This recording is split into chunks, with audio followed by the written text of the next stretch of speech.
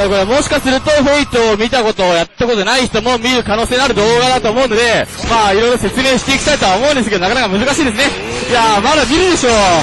Fate ってタイトルとなんか、あれでしょ、インフィニットストラトスとかタグつけとけば見るでしょみんな。さあ、スラをバックステで受けて、さあ、ステージは広いステージ、お互い遠距離でやることがあるキャラなので、さあ、試合は、飛び抜けての牽制合戦。これ、飛び込む瞬間を考えてるアーチャーが、さあ、これ、補正技。さあ、ゲージを一気に吐いて、ダメージを奪いに行く。しっかり投影込んできている。さあ、こは、一回、難しいと思って、コンボ途中でやめるが、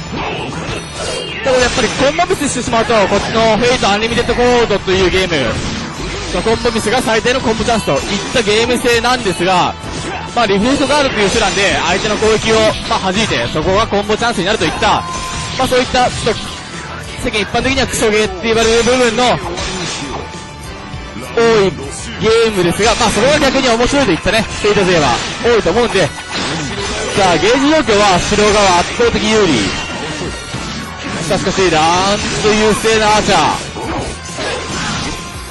さあこのゲームやっぱりいろいろ動けるんで 3D の 3D ならではといった感じで動けるので、まあ、この広いステージだとやっぱり陣取り合戦がメインのゲームじゃないかなと僕は思います。さあこれ軸移動にしっかりぶっ込み技を刺していくと、まあ、軸移動一つとってもやっぱり危険な動きであるといった感じの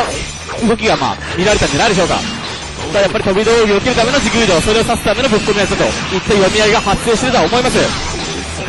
さあ、と言ってる間に、さあ、ぶっ込みやつ見せて、さあ、ラッシュをかけていくアーチャー。これカウンター取るが、ダメージに至れない。さあ、社外が刺ってしまって、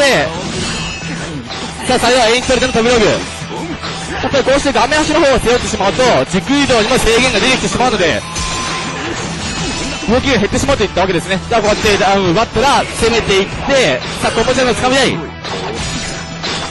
さあ、遠いで当たって、さあ、先鋒戦勝利したのは、マゲッツアーチャー。マゲッツアーチャーが先鋒戦勝利。